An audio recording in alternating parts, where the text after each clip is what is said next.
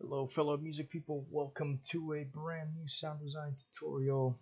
I'll be teaching you guys how to make some synth plucks using both Sytrus and Harmless. So um, before I get into that, let me just quickly show you how to get like a fundamental pluck sound through 3x oscillator, which is a pretty basic and very easy plugin to use when you're starting off. So so we want to turn the envelope on. Um, and then a lot of a lot of plugins will have knobs or sliders. Um, but in this case, I am using knobs, so just want to pull the attack all the way back. Sometimes they may have a hold knob or slider, um, but you can just tap it off. You don't really need it. Um, your sustain, you um, you can have maybe just a tiny bit of sustain or just have it off completely. Um, I'll just, you know, I'll, I'll, I'll just compare the little bit of sustain and then decay. This is your most important, um, your most important knob. Um, you just want to pull it, pull it all the way, maybe down to one fifth of it. Uh, let me just play. So, so now you're getting that really plucky sound. Um, and then if you have if your plugin has like a tension knob, you can um, you can play with it. I recommend you just kind of experiment, see which you like the which sound you like the most. So I think I like that one the most, and then for your release, you just um, I would just recommend having a little bit of release or no release at all. Um, and then this is with the sustain completely turned off. Um, there you go. So I think you get my point now. All right, let's get rid of this now since we don't need it anymore. Now let's move on to Sytrus, which I've used before in my previous video. Very good plugin. So, um, so you want to have one operator, at least one operator and one filter operator. Um, uh, but for this first one, I'll just use um, one operator. So, so for your basic um, shape, you just want it something like this, kind of like uh, what you saw in three 3x oscillator, but um, you kind of just have more flexibility here, so you can really you can really move around stuff much much easier. Um, So I think I really like the sound here. Um, uh, the thing with Sytrus is that you can actually customize your, your wave shape. So you can do it through here um, or just move stuff around here. So I find that, uh, which one is, I think it's skew. Yeah, I really like um, just moving the skew slider just a little bit.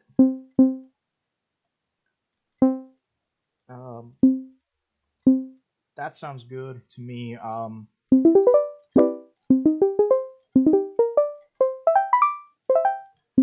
um, it's a little bit too loud, so I might turn it down a bit, but so there you go.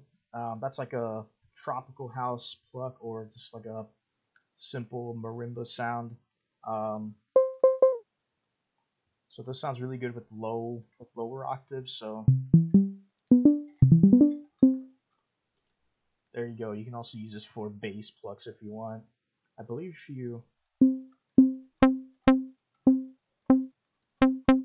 That doesn't sound too bad, but we don't really need to worry about FM knobs for now. We'll just leave it like that. And then I'll show you the effects tab later, but um, for now, let's just move on to a new sound. So we'll just reset it back to default make sure I lower this because this can get very loud. So this time we're going to switch to a song wave, which is a very popular um, wave shape. Um, so this time you want to do one one operator and one filter. So I'll be using the filter operator or, or tab, whatever it's called. I'll, I'll be using the filter tab for this sound here. So it's still pretty loud, but I'll just lower a little bit. Uh, let's go here. Um, um, let me turn this on, make that. Can I stop hitting the LFO tab on accident? Okay. Oh, that sounds awful. Okay. Just make sure you have little to no release because it can really mess up your sound.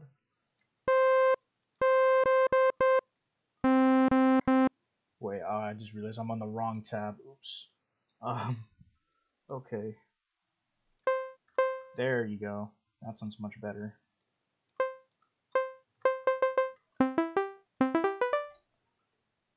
So that is your typical pluck pattern. Again, you can have a little bit of release if you want. But I'm just going to leave it off for now. Um, so now what I like to do here is, oh yeah, make sure you have band limit on. Because if I turn it off, you might hear some weird artifacts in the high end. So just make sure you make sure you turn it on. And then right here you can very much customize your wave shape. So I find that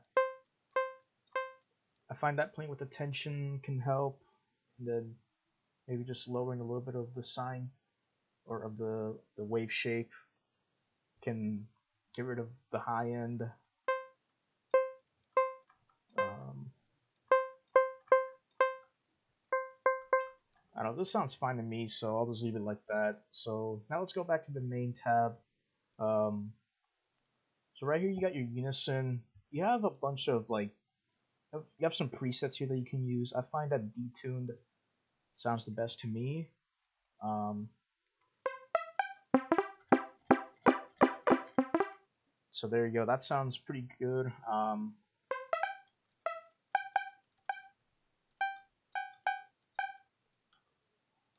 so maybe just four voices sounds fine. Um,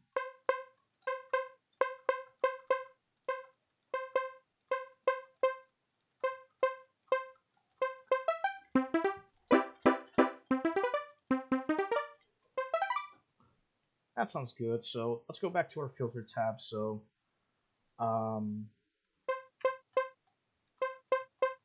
so let me just make sure I lower that. So now we're gonna go to our cutoff envelope, and we're just gonna do what we did in our volume envelope, except um, you don't want the release, so you can just get rid of that if you want.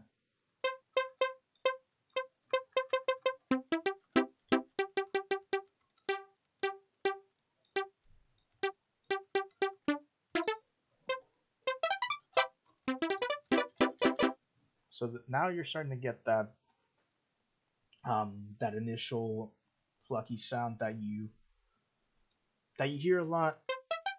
Um,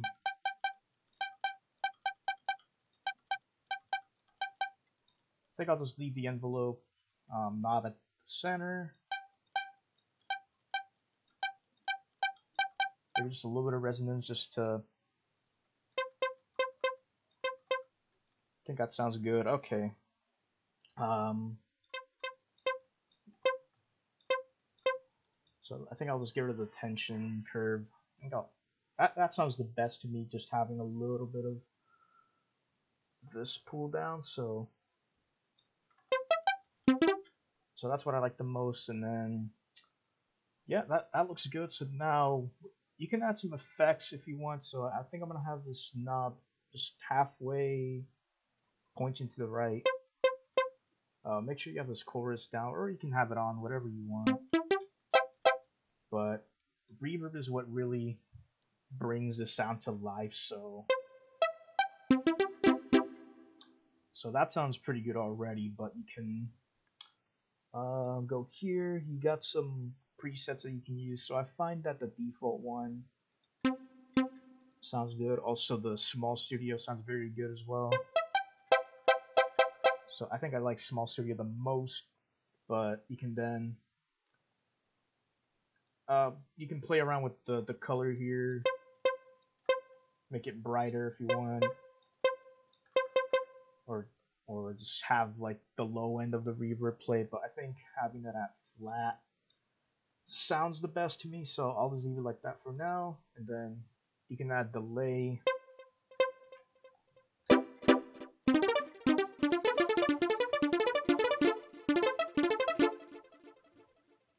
That sounds pretty cool. Um, I'm just gonna turn it off for now. And that's that's really it um, for for Sytrus. So so now that we're done with that, let's move on to harmless. So this um, this is another really cool plugin for making pluck sound just because you already have a pluck knob. It's right there in front of you. You can uh, I should probably turn this down. Me, I'll just do it through here. However, that doesn't sound too loud. Okay. Um, so just by playing around with this pluck knob can make a big difference in your in your sound.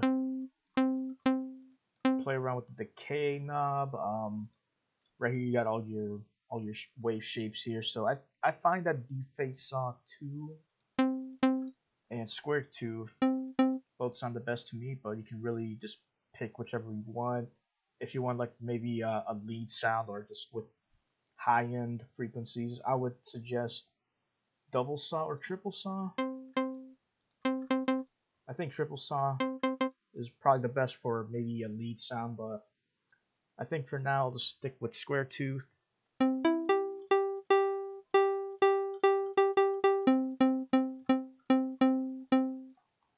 I think that's a good um I think those are good settings right here. So so next you got a, you got your your filter knob right here. Um, you got a bunch of options right here for for whatever filters you want. So I personally find I don't know. I just like the classic one the most.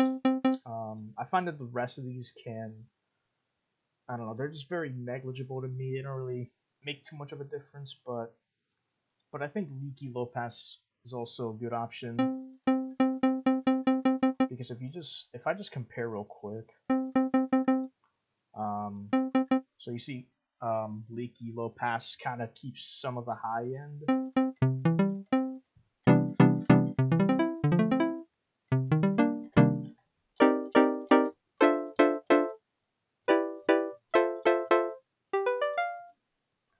There you go. So, um, hold on, just need to, okay. It's still, because I accidentally pressed the key to, like, end the recording, but whatever. Or, or so I thought I did. Okay. Um, uh, what was I? Oh, yeah. So, so yeah, leaky low pass, um, good option or classic, but you can really just play around with these if you want. Also, phaser sounds really good too, so. So that one can be something to play around with. So I'll just go back to the classic one, and then you got your resonance knob right here. Um, I don't know. Um, none of these really work for me, so I, I think I just like the the standard one. There's also this, so you can.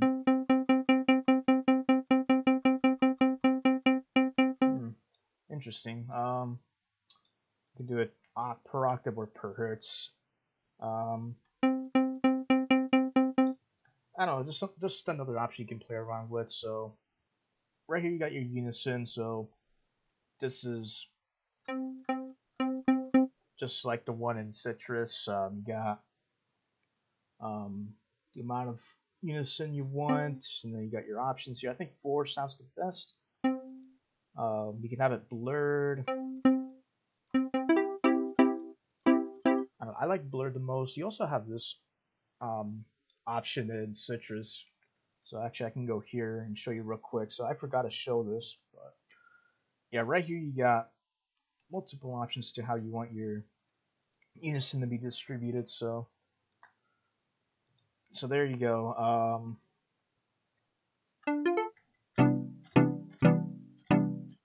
I really like the sound so far. Um, you got your effects here again. So these are the same exact presets as are the as the ones in Sytrus. So like I said, I like Small Studio the most.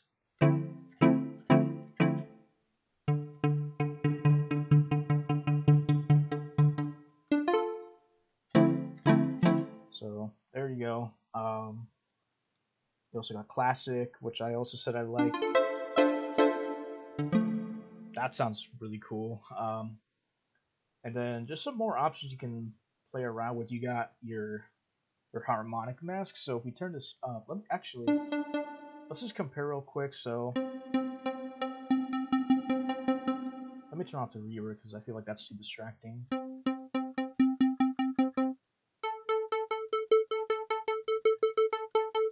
You can really hear it there with the higher notes. Um,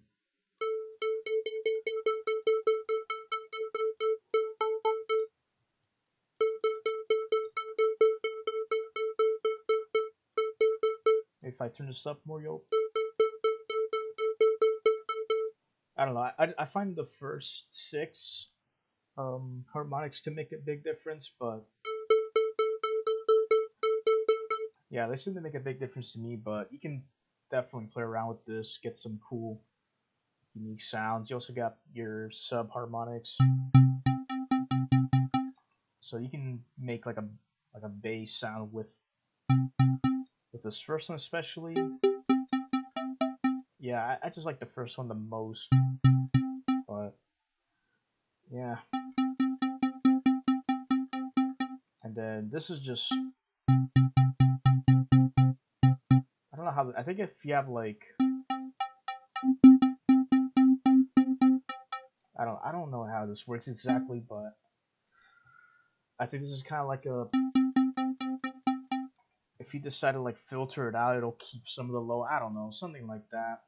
Um, I'll just leave it at default, but but there you go. That's pretty much the basics on how to make um, synth plucks using Harmless. You can also take any existing plugins and just kind of turn them into plucks. So, as an example, I'll just show you one sound that I really like the most, which is this one right here. So it's a really cool sound, but it's got I don't know, just too much like um, sustain in it. So so just pulling this back can really like it just sounds a lot better in my opinion. So the decay and the pluck are the two knobs that can turn any sound into just into just a simple pluck sound.